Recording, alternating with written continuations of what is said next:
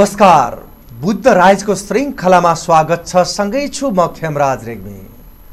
आदरणीय महानुभावहरू देशको राजनीतिक अस्थिरताले मुलुक कतातर्फ लैजान्छ भनेर ठ्याक्कै भन्न सक्ने अवस्था छैन। हिजो एउटै कित्तामा जोडिएका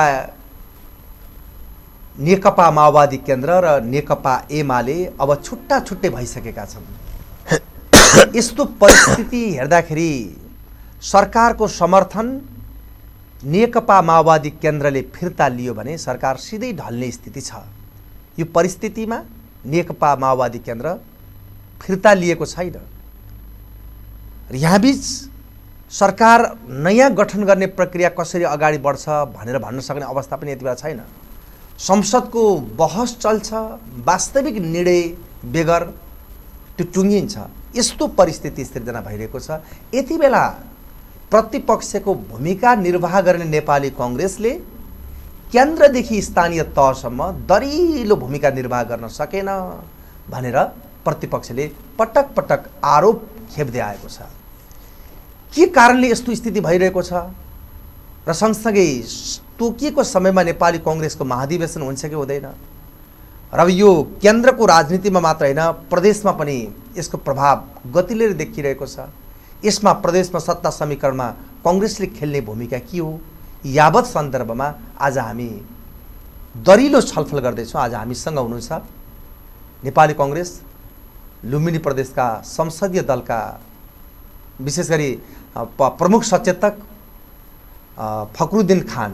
विशेष उहाँले लामो समयदेखि यसलाई नजिकबाट विश्लेषण गर्नुभएको छ नजिकबाट निहाल्नु भएको छ। अब कसरी जानुपर्छ? त्यो उहाँले मूल्याङ्कन गर्नुभएको छ।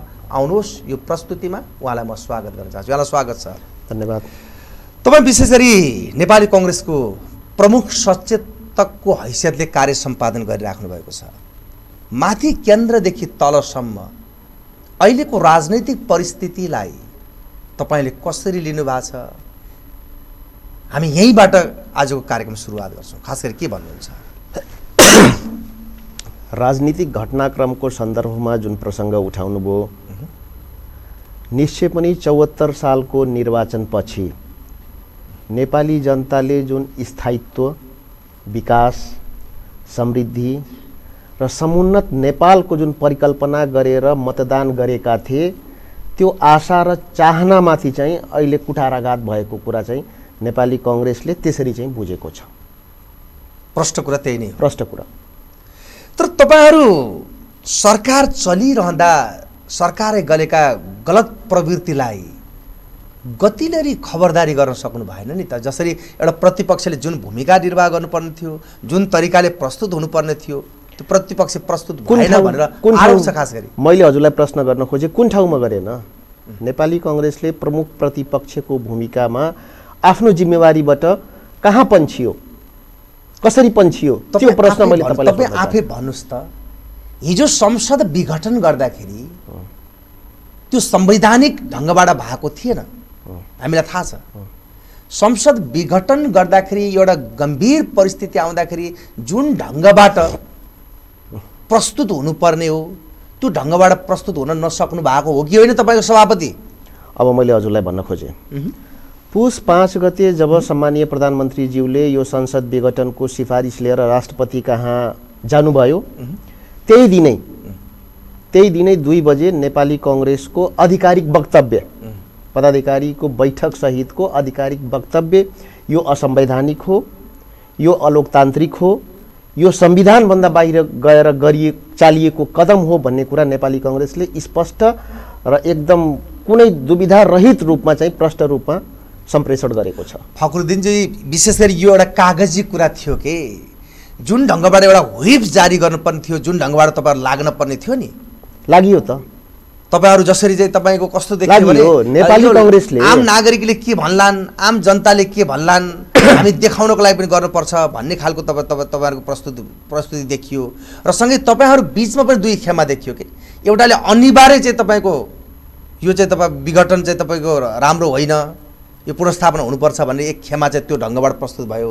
अर्को क्षमा अदालतले जे गर्छ त्यसलाई हामी मान्छौँ होइन म मान्दिनँ। हजुरले पत्रकारिताको आँखाले त्यो प्रश्न गर्नुभयो।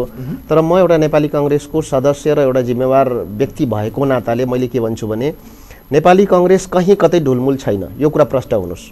र रह्यो कुरा यो यो चाहिँ यो संसद विघटन लगायतको सन्दर्भमा नेपाली कङ्ग्रेसले प्रष्ट रूपमा केन्द्रीय समितिबाट औपचारिक निर्णय गरेर राज्यव्यापी केन्द्रदेखि लिएर निर्वाचन क्षेत्र पालिका वडा तहसम्म हुँदै विरोधका कार्यक्रमहरू यो सरकारले गलत गर्यो भन्ने किसिमका सुसूचित गराउने नागरिकलाई नागरिकलाई सुसूचित गराउने प्रमुख प्रतिपक्षको काम कर्तव्य दायित्वबाट कहीँ कतै कहीँ कतै विचलित भएको छैन। ठिक छ यो। त- तपाईँको भनाइ हो कि आम नागरिकले गर्ने मूल्याङ्कनको कुरा त्यहाँ जोडिया हुन्छ कि? हामीले गरेको कार्यक्रमहरूको तपाईँले मूल्याङ्कन गर्नुहोस्। नेपाली कङ्ग्रेसले जुन चाहिँ सरकारको कदम विरुद्धको जागरण अभियान राष्ट्रव्यापी रूपमा चलायो त्यसमा तपाईँले उपस्थिति हेर्नुहोस्। उल्लेखनीय र उल्लासमय उपस्थिति रह्यो। त्यो के त भन्दाखेरि हो यो गलत हो। हामी नेपाली नागरिकहरू अब आउने पुस्ताका युवाहरू कहिलेसम्म सडकमा आउने त? निरङ्कुशता विरुद्धको लडाइँमा चाहिँ सडकमा आइयो। शान्ति प्रक्रिया त्यसको विरुद्धमा चाहिँ एकपटक नेपाली कङ्ग्रेसले नेतृत्व गरेर फेरि चाहिँ त्यो शान्ति प्रक्रिया सकियो। फेरि हजुरको चाहिँ राजनीतिक द्वन्द्वहरूको व्यवस्थापनका निमित्त एकपटक सडकमा आइयो। त्यो पनि सकियो।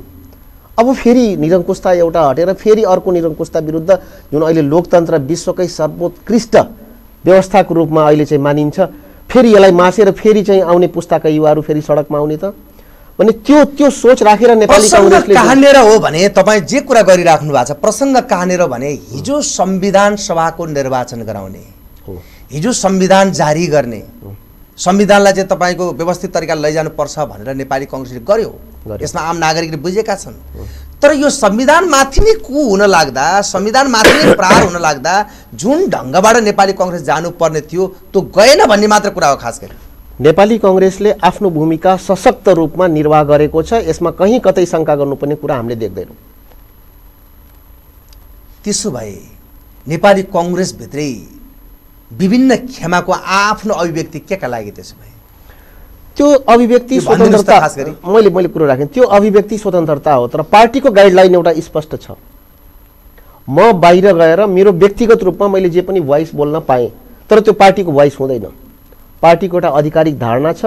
त्यो धारणा भनेको पार्टीको आधिकारिक धारणा। आज नेताले त विभिन्न कुरा बोलिराख्नु भएको छ। कसैले जनमत सङ्ग्रहको कुरा गर्नुहुन्छ।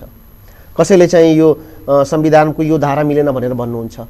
तर त्यो पार्टीको लाइन होइन। त्यो के हो भने उहाँहरूको व्यक्तिगत लाइन हो व्यक्तिगत धारणा हो। पार्टीको एउटा केन्द्रीय समिति एउटा औपचारिक कमिटीले गर्ने निर्णय हुन्छ। र त्यो त्यो सिस्टमबाट पार्टी अघि बढेको हुन्छ। र पार्टीले स्पष्ट रूपमा बोलिसकेको कुरा छ त्यसमा कुनै दुविधा कुनै छैन। पार्टीभित्रकै वरिष्ठ नेताहरूले सही कुरा गर्छन् कङ्ग्रेसलाई एउटा चाहिँ वास्तवमा मजबुत गराउने खालको कुरा गर्छन् सही ट्र्याकमा हिँड्नुपर्छ भनेर वास्तवमा आवाज उठाउँछन् भने त्यो आधिकारिक होइन भनेर भन्न मिल्छ। होइन पार्टीको औपचारिक कमिटी केन्द्रीय समितिले गरेको निर्णय त्यो वैधानिक र औपचारिक त्यो हो। त्यसको विपरीत कोही पनि गएको छैन। कुनै पनि नेता जानुभएको छैन। यो कुरामा प्रश्न हुनुहोस्। तर यो ढुलमुले नीति देखिन्छ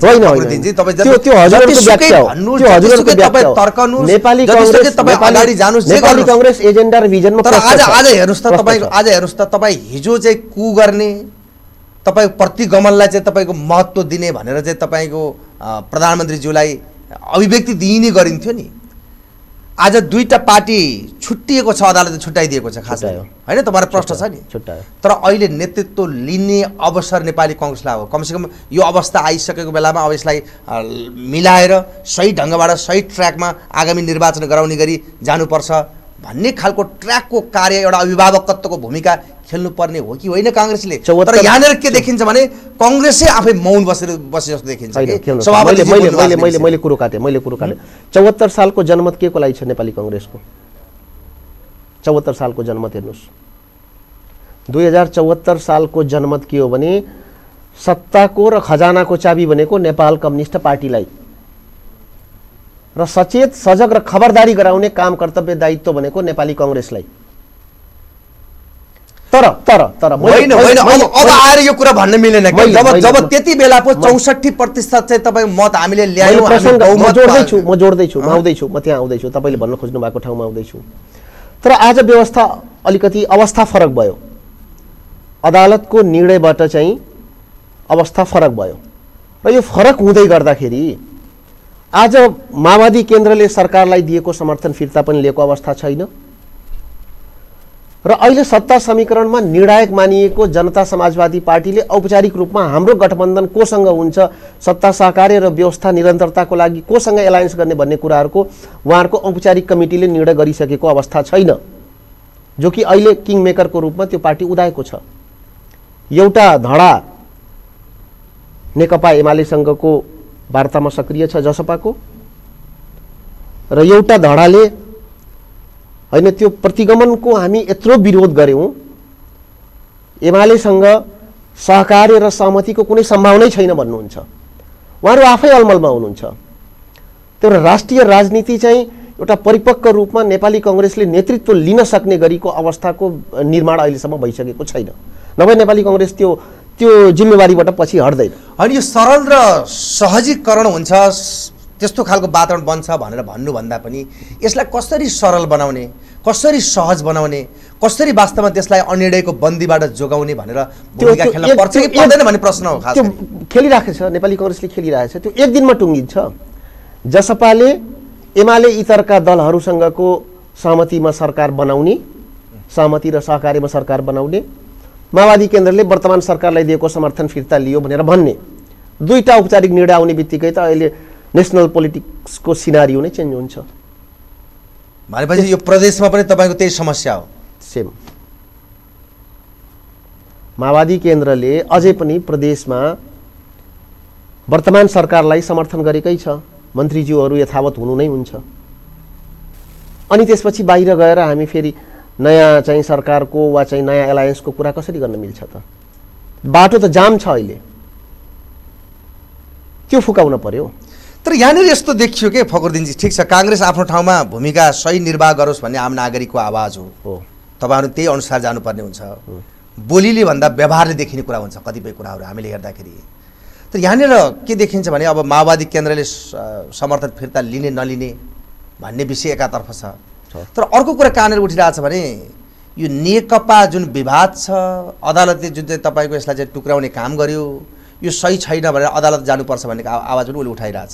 के तपाईँलाई लाग्छ त्यो उहाँहरूको आन्तरिक कुरो? हो। के त्यस- तपाईँलाई त्यसमा लाग्छ हामी- नेकपा हामीले- नेकपा माओवादी केन्द्रले. सरकारलाई दिएको समर्थन फिर्ता लिँदैन जस्तो लाग्छ तपाईँलाई? खास के के त्यो त उहाँहरूको आन्तरिक पार्टीको आफ्नो सिस्टमभित्र रहने कुरो हो त्यो उहाँले गर्ने निर्णय हो। त्यसमा हामीले चाहिँ इन्टरफियर गर्न मिल्दैन। उहाँहरूले एकातर्फ के भन्नुहुन्छ उहाँहरूको पार्टीको राष्ट्रिय अध्यक्ष कमरेड प्रचण्डज्यूले माओवादी केन्द्रको। हामी चाहिँ ओली सरकारलाई विस्थापित गर्नुपर्छ भनेर भन्नुहुन्छ। अर्को खुट्टा चाहिँ उहाँहरूको सरकारमै छ। समग्र नेपालका सबै प्रदेशहरूको सन्दर्भमा कुरो गरिरहेको छु। अनि कसरी निकास पाउँछ त? एक दिनमा निकास निस्किन्छ। उहाँले समर्थन फिर्ता लिनुहोस् जसपाले औपचारिक निर्णय गरोस्। प्रष्ट हुन्छ अहिले। कुनै वाद विवाद छैन। के छ तपाईँहरू? प्रदेशकै कुरा गर्दा तपाईँ विशेष गरी प्रदेशमा नेपाली कङ्ग्रेसको प्रमुख सचेतक भएर काम गरिराख्नु भएको छ। प्रदेशमा त्यो माहौल मिल्यो भने सत्ताको बागडोर सम्हाल्न सक्ने अवस्था छ तपाईँहरूको? होइन एउटा कुरा के भने राजनीति भनेको सदैव सधैँ प्रतिपक्षको लागि पनि हुँदैन। तर आज जुन अवस्था आयो यो अवस्थाको जिम्मेदार नेपाली कङ्ग्रेस चाहिँ होइन। पहिला यसरी प्रश्न हुनुपर्छ। यो जुन सङ्क्रमण काल आयो सङ्क्रमण कालको नैतिक जिम्मेवारी नेपाल कम्युनिस्ट पार्टीले लिनुपर्छ। र यो प्रदेशको सन्दर्भमा भन् भन्नुपर्दा प्रदेश भनेको अहिले हामी सङ्घीयताको प्रारम्भिक अभ्यासमा छौँ। धेरै बाधा व्यवधानहरू छन्। त्यसैले हामी यो प्रदेश लुम्बिनी प्रदेशको सन्दर्भमा नेतृत्वको दाबीसहित सबै खुला विकल्पमा अन्य पार्टीसँग वार्ता र संवाद गर्न तयार छौँ। तर एउटा कुरा खास हुन त राजनीतिमा आफ्ना आफ्ना धारणाहरू हुन्छन् आफ्ना आफ्ना विचार हुन्छन् आफ्नो शैली हुन्छ। हिजो प्रदेशको राजधानी सार्ने सवालमा पनि हामी चुक्यौँ वास्तवमा भन्ने हो भने। यद्यपि कहाँ यहाँका ने- चुक्यौँ? यहाँका नेताहरू पनि चुके कहाँ चुक्यौँ। यहाँ नेताहरू पनि चुके हामीले देख्दाखेरि। तर के छ अब यो राजधानी जुन सार्ने विषयमा जुन कुरा भइरहेछ यस्तो खालको अवस्थाले त्यसलाई कतिको असर पुर्याउला खास गरी होइन त्यो प्रदेशको राजधानी सार्ने सन्दर्भको कुरा जुन गर्नुभयो त्यो त संवैधानिक व्यवस्था हो त्यो के हो भने प्रदेशमा रहेको सदस्य सङ्ख्याहरूको दुई तिहाईको मतले त्यो निर्धारण गर्ने र त्यो एकपटकको लागि मात्रै त्यो संवैधानिक व्यवस्था छ। एकपटक निर्णय भइसक्यो। अब त्यो संविधानले फेरि अर्को दुई तिहाईले त्यसलाई फेरि ल्याउने वा चाहिँ अन्यत्र लैजाने त्यो परिकल्पना गरेको छैन। अब गएपछि गयो गयो। गयो। यो रोकिनेवाला छैन। छैन। यो वास्तवमा नागरिकहरू के भन्न थालेका छन् अहिले भन्दाखेरि वास्तवमा केन्द्र र स्थानीय तह भए पुग्ने रहेछ प्रदेशको औचित्य छैन भन्ने खालको कुरा उठिरहेछन्। यो वर्तमान सरकारको गतिविधिले गराएको छ यो कुरो त। प्रदेश आफैमा धेरै संविधानमा व्याख्या भएका किटान गरिएका अधिकारहरू जुन प्रदेशले पाउनुपर्ने थियो त्यो वर्तमान सरकारले नदिएर यो अन्यल र अलमलको स्थिति चाहिँ यो वर्तमान सरकारले गराएको छ सङ्घीय सरकारले गराएको छ। उदाहरणको लागि म सामान्य उदाहरण मैले हजुरलाई दिन्छु। प्रदेश स्थापना भएको तिन वर्ष भयो। दुई पटक सङ्घीय सरकारले नेपाल सरकारले प्रहरी भर्नाको आवेदन किन गर्ने? प्रहरी भर्ना त भोलि प्रदेशले आफ्नो हिसाबले गर्छ। प्रदेश सरकारले समानुपातिक समावेशी र सबै चाहिँ संविधानमा व्याख्या भएअनुसारका आत्मसात गरेर आफ्नो हिसाबले उसले प्रदेश प्रहरी भर्ना गर्छ। अनि आज तिन वर्ष पुग्दै गर्दाको अवस्थासम्ममा पनि त्यो प्रदेश प्रहरीको विधेयक त्यो हिसाबले रिलिज नगर्नु नछोड्नु प्रदेशलाई अधिकार चाहिँ डेलिभर नगर्नु त्यो त यहाँको सरकारको पनि कमजोरी हो र माथिको नेपाल सरकारको पनि कमजोरी हो। हामीले त भनेका छौँ यो व्यवस्था निरन्तरताको लागि सङ्घीयताको दिगोपनको लागि यसको स्थायित्वको लागि हामी प्रतिपक्ष होइनौँ। हामी सरकारलाई काँधमा काँध हातमा हात मिलाएर सहयोग गर्न तयार छौँ। अधिकारको लागि लड्नुहोस् मुख्यमन्त्रीज्यूले औपचारिक रूपमै आसन पायौँ शासन पाएनौँ भन्ने अभिव्यक्ति दिनुभएको त्यो त छटपष्टै छ नि त। बडो गम्भीर भयो क्या देशको अवस्था खास गरी? एकले अर्काको अस्तित्व नगर्ने विशेष गरी सत्ताको बागडोरमा पुगिसकेपछि आम नागरिकको वास्तव पीडा के छ त्यसलाई सरोकारै नराखिदिने। यस्तो परिस्थिति सिर्जना भइरहेछ। र अर्कोतर्फ हामीले हेर्दाखेरि अब दुई तिहाईको सरकार कमसेकम एउटा स्थायी सरकार होस् भन्ने जुन आम नागरिकले जुन चाहना राखेका थिए त्यो चाहनाको नि कुनै अर्थ रहँदो रहेछ भन्ने अवस्था अहिले देखिरहेछ कि खास। त्यही त चौहत्तरको निर्वाचनपछि नेपाली मतदाताले नेपाली मतदाताले अब सङ्क्रमणका शब्दहरू सकिए। राजनीतिक मुद्दाहरू अधिकांश राजनीतिक मुद्दाहरू व्यवस्थापन भए। अब चाहिँ नेपाल समृद्धि र विकासको दिशामा अगाडि बढ्छ भन्ने त्यो सोच राखेर एउटा थाई सरकार यो देशमा हुनुपर्छ भनेर नेपाल कम्युनिस्ट पार्टीलाई प्रचण्ड जनादेश सहितको मत दिए तर उहाँहरूले त्यो नेपाललाई जुन गति र वेगमा जुन दिशामा लैजानुपर्ने थियो त्यहाँ लान सक्नु भएन र नेपाली नागरिकको नेपाली जनताको आशा र विश्वासमाथि मैले अघि नै पनि भनिसकेको छु कुठाराघात गर्नुभएको छ। र त्यो भविष्यले उहाँहरूको यो कदमले यो आत्मघाती कदमले भविष्यमा त्यसको परिणाम उहाँले चाहिँ भोग्नुपर्ने हुन्छ। अब एउटा कुरा भनिदिनुहोस् त आज यो जुन विषम परिस्थिति सिर्जना भइरहेको छ नि हजुर। यो परिस्थिति सृजना हुनमा दोषी काङ्ग्रेस हो कि होइन? नेपाली कङ्ग्रेस छैन। कसरी छैन? कुनै एङ्गलबाट तपाईँले दोष लाउन सक्नुहुन्न। हिजो स्थानीय तहमा जोसँग घाँटी जोड्नु पर्ने थिएन उसँग घाँटी जोडेर तपाईँहरू निर्वाचनमा जानुभयो कि? त्यो निर्वाचनको कुरा आफ्नो भएको कुरा क्लियर गर्नुहोस् न। मैले क्लियर गर्दैछु मैले क्लियर गर्दैछु। नेपालको राजनीतिक उपलब्धिहरू ठुला ठुला परिवर्तनको कुराहरू गरौँ त। त्यो परिवर्तनमा त आज चाहिँ प्रमुख क्रियाशील दलहरू त सहयात्रीको रूपमा त थिए नि त। यसको नेतृत्व नेपाली कङ्ग्रेसले गरेको हो। नेपाली कङ्ग्रेसको अगुवैमा नेपाली कङ्ग्रेसको नेतृत्वमा ठुला ठुला परिवर्तनहरूले नेपालमा संस्थागत भए। संविधानको कुरा गरौँ। धेरै पछाडि नजाउँ संविधान पनि नेपाली कङ्ग्रेसकै नेतृत्वमा प्रमुख क्रियाशील राजनीतिक दलहरूलाई सहमति र सहकार्यमा राखेर कङ्ग्रेसले नि दाबी गर्यो जारी गर्यो। त्यसपछि त्यो दुई वर्षभित्र संविधानलाई कार्यान्वयन गर्नका निमित्त त्यो अनिवार्य संवैधानिक व्यवस्था जुन निर्वाचन थियो त्यो निर्वाचन पनि नेपाली कङ्ग्रेसकै नेतृत्वमा भयो। अनि त्यो चुनावको कुरा गर्नुहुन्छ। चुनावमा त हुन्छ त। कहीँ कतै सहकार्य गर्नु पर्ला कुनै दलसँग कुनै ठाउँमा।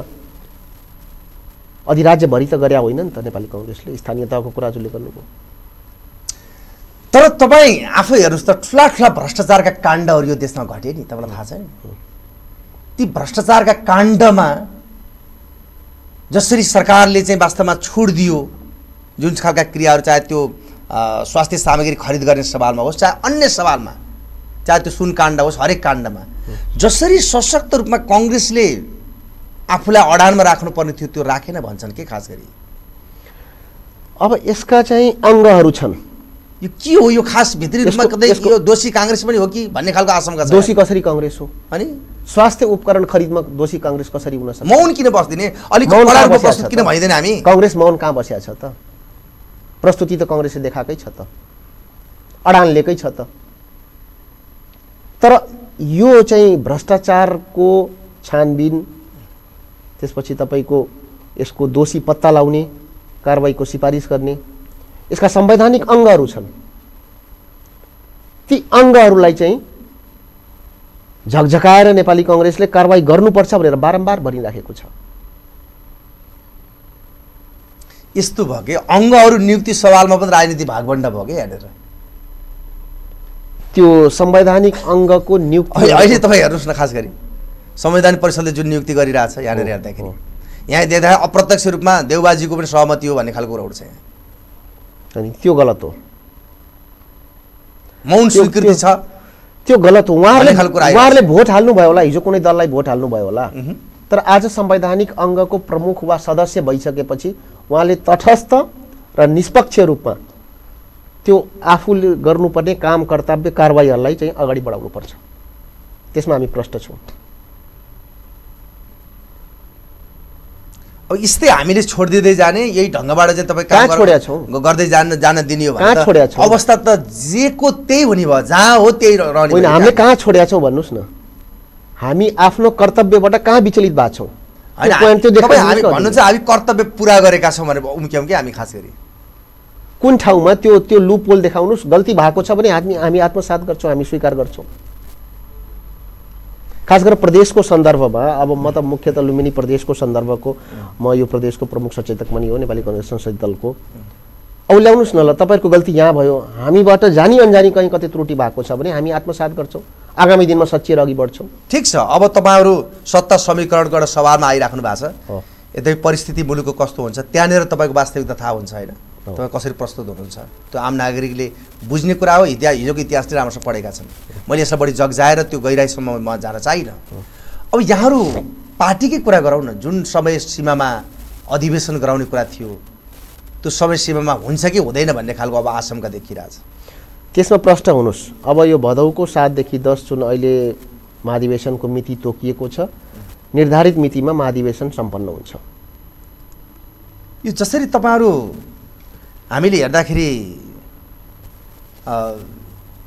धेरै नागरिकहरूलाई जोडेर एउटा चाहिँ सिङ्गो पार्टी बनाएर देशलाई चाहिँ तपाईँ विकास र उन्नतिमा छलाङ मार्छौँ भनेर भन्ने गर्थ्यौँ हामी पहिला। तर बिस्तारै बिस्तारै बिस्तारै बिस्तारै अहिलेसम्म आइपुग्दाखेरि जनमत कम कम कम देखिँदै गएको हो कि भन्ने आशंका छ कसको जनमत कम भयो? नेपाली कङ्ग्रेसलाई। कसरी कम भयो? नेपाली कङ्ग्रेस संविधान जारी गरेको पार्टी गणतन्त्र ल्याएको पार्टी भने भने भन्ने गर्छौँ। तर चुनावमा जुन हार बिहोर्नु पर्यो हजुरले दुईवटा कुरा हेर्नुहोस् न। एउटा कुरा के हेर्नुहोस् भने मत हेर्नुहोस् न नेपाली कङ्ग्रेसको। समानुपातिक मत हेर्नुहोस् त। त्यो मात्रै भएन तर हामी प्रत्यक्ष म आउँदैछु। आउँदैछु। त्यो मतको मूल्याङ्कन गर्नुहोस्। र रह्यो प्रत्यक्ष निर्वाचनको कुरो। प्रत्यक्ष निर्वाचनको कुरो गर्दै गर्दा कहीँ कतै उम्मेदवारमा पनि अलिकति छनौटमा चाहिँ अलिकति त्रुटि भएको हुन सक्ला त्यसपछि दुईटा दल मिल्दाखेरिको अवस्थाको सन्दर्भको पनि एउटा प्रमुख कारण त्यो पनि छ। त्यो निर्वाचन अगावै हठात उहाँहरूको त्यो चाहिँ एउटा सहकार्य भयो एलायन्स भयो दुईटा माओवादी केन्द्र र नेपाल कम्युनिस्ट पार्टीको। त्यति हुँदा पनि बयालिस चौवालिस ठाउँमा नेपाली कङ्ग्रेसका उम्मेदवारहरू झिना मतले मतान्तरले पराजित हुनुभएको छ। र यो हारजित भन्ने कुरा त अवधिको हो। ठिक छ नेपाली कङ्ग्रेस आज चाहिँ एउटा चुनावमा उसको चाहिँ रोल सानो भयो रोल रोल नभनौँ सङ्ख्या सानो भयो। हामी फेरि त्यसलाई सुधार्दै लैरहेछौँ। आउने नतिजा तपाईँले हेर्न सक्नुहुन्छ एक डेढ वर्षपछिको निर्वाचनमा त्यो छटपष्ट हुन्छ क्लियर हुन्छ। के छ दुई वर्ष दुई वर्षै चाहिँ तपाईँको कुनै सरकार चल्छ अब? चल्छ मजाले अवधि? मजाले चल्छ। यही तरिका यही तौरबाट जाने एउटाले समर्थन फिर्ता नलिने अब त्यही तरिकाले लाउँदै जाने हो भने के होला फेरि स्थिति? होइन सधैँ यस्तै परिस्थिति रहिरहन्छ। आजको यो परिस्थितिको यो चाहिँ अवस्थाको जिम्मेवार नेपाल कम्युनिस्ट पार्टी हो। नेपाली कङ्ग्रेस होइन। यो नेपाली नागरिकले प्रष्ट रूपमा बुझेका छन्। सर्वहाराको सरकार भनेर चाहिँ त्यो हेलिकप्टरबाट त्यो केक ओसार्ने मान्छे ओसार्ने लगायतका गतिविधिहरू छरपष्ट छन्। सर्वहाराको राष्ट्रपतिको सन्दर्भमा कुरो गर्दै गर्दा त्यो हिजो राजाको भन्दा पनि बढी चाहिँ तामझाम देखिने झझल्को आज पनि छन्। परिवर्तन हुनु पर्थ्यो नि त। के फरक रह्यो अन्य सरकारमा र सर्वहाराको सरकारमा? देख्नु भएको छ परिवर्तन? ठिक छ त्यतातिर हामी अब नजाउँ अहिले। हामी निचोडमा जाउँ त अब वास्तवमा निचोडमा। के कुराको? अब कङ्ग्रेसले क्रियाशील सदस्यता दिन पनि ढिलाइ गर्यो पार्टीभित्र भन्ने खालको कुरा एकातर्फ उठाएको छ एउटा प्रसङ्ग। अर्को प्रसङ्ग अब सरकार प्रदेशमा सरकार गठनका कुराहरू पनि छन् अर्कोतर्फ यहाँहरूको भूमिका। र सँगै अबको निकास अबको वातावरण अबको माहौल आम नागरिकले सरकार छ वातावरण छ भनेर ढुक्क हुने स्थिति के हो? निचोडमा तपाईँले भनिदिनुहोस् अन्त्यमा अबको अवस्थाको बारेमा जुन पहिलो कुरा गर्नुभयो अबको अवस्थाको बारेमा नेपाली कङ्ग्रेसले राजनीतिक घटनाक्रमहरूलाई अत्यन्त सूक्ष्म तरिकाले निहालिरहेको छ पहिला कुरा। र यो लुम्बिनी प्रदेश मैले केन्द्रको कुरो गरिनँ मैले लुम्बिनी प्रदेशको कुरो गरेँ। लुम्बिनी प्रदेशको सन्दर्भमा एकदम क्लियर कट हामी छौँ। यसमा कुनै दुविधा छैन। ठ्याक्कै क्लियर कट छौँ। हामी चाहिँ नेतृत्वको दाबीसहित नेतृत्वको दाबीसहित अन्य दलहरूसँग सबै विकल्पहरूमा खुला छलफल गर्नका निमित्त तयार छौँ। एकदम क्लियर कट। जो आए पनि। एकदम क्लियर कट। नेतृत्व दाबीसहित भनेको छ मै फेरि त्यहाँ हेर्नुहोस्। नेतृत्व दाबीसहित सबै विकल्पमा खुला छलफल गर्न तयार छौँ। किनभने यो भोलि नेपाली कङ्ग्रेसको अब सङ्ख्याको कुरो आयो। नेपाली कङ्ग्रेसले यदि चाहिँ तपाईँको जसपाले उता सरकारलाई समर्थन नगरिदिने नेपाली कङ्ग्रेस तटस्थ बस्दिनँ भने त डिजल्भ हुन्छ सदन। सकिन्छ। त्यो अवस्था चाहिँ हाम्रो कारणले गर्दा हामी आउन दिँदैनौँ। एउटा विकल्प चाहिँ हामी दिन्छौँ। एकदम क्लियर कुरा हो। र अर्को नागरिकले जुन भन्नुभयो कि नागरिकले एउटा चाहिँ आशा गरेका थिए सरकार छ कि छैन भन्ने कुरा त त्यो तिन वर्षको अनुभूति सोध्नुहोस् न नागरिकलाई। त्यो तिन वर्षको अवधिमा मैले प्रदेश सरकारको कुरो गरेँ। हुन त शून्यबाट प्रारम्भ भएको प्रदेश सरकारका सबै गतिविधिहरू केही थिएन। तर आज तिन वर्षको अवधिसम्म आउँदै गर्दा हामीले जनतासँग कतिन्जेलसम्म माफी माग्ने? हामीसँग यो भएन हामीसँग ऊ भएन हामीलाई केन्द्र सरकारले चाहिँ यो दिएन भनेर त्यो नेपाली नागरिकले प्रदेशको जनताले त मान्ने अब। एक वर्ष छुट भयो। दुई वर्ष छुट भयो। तर सधैँ तपाईँ चाहिँ पदीय जिम्मेवारीमा बस्ने अनि त्यसपछि नागरिकसँग गएर माथिबाट भएन भनेर उम्किन पाउनुहुन्छ? पदीय जिम्मेवारीमा आइसकेपछि त्यो जिम्मेवारीबाट प्रवाह हुने काम कर्तव्य दायित्वको नैतिक जिम्मेवारी पनि अब लिनुपर्ने बेला आएको छ। लकडाउनको बेलामा हेर्नुहोस्।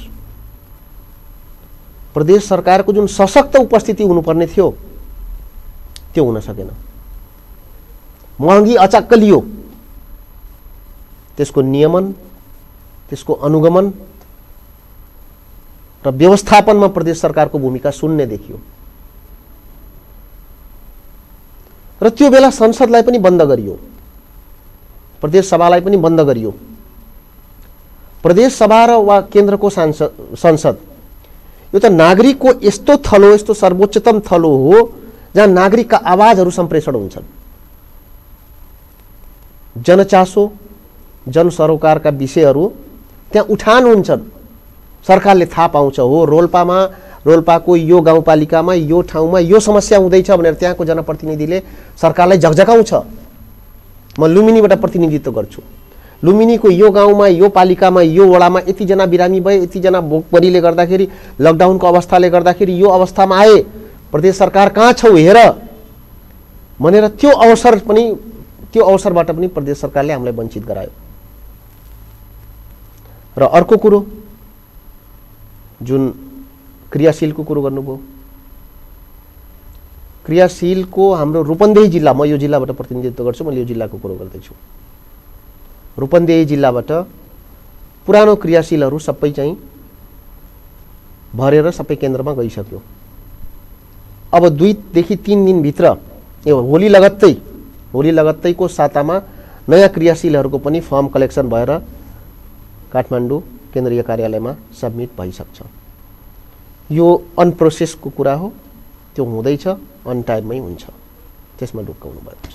विकार र विकृ विकृतिसँग जोडिएर नेपाली नागरिकले समय व्यतीत गरिरहेका छन् यथार्थ हो। यो हामीले बुझेका छौँ। यथार्थ हो। एउटा समुन्नत समाज निर्माण गरोस् कङ्ग्रेसले भन्ने चाहना पनि छ। छ। तर हामी बिचमै एक आपसमा लड्न थाल्यौँ। एक नेताले अर्को नेतालाई नगन्ने उसको कुरालाई चाहिँ न नस्वीकार्ने परिपाटीमा हामी विकास हुन थाल्यो भने त्यो समाजलाई बदल्न सक्दैनौँ।